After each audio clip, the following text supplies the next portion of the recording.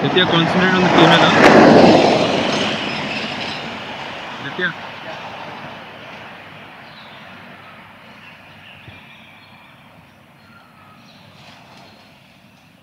She's got a baby on her.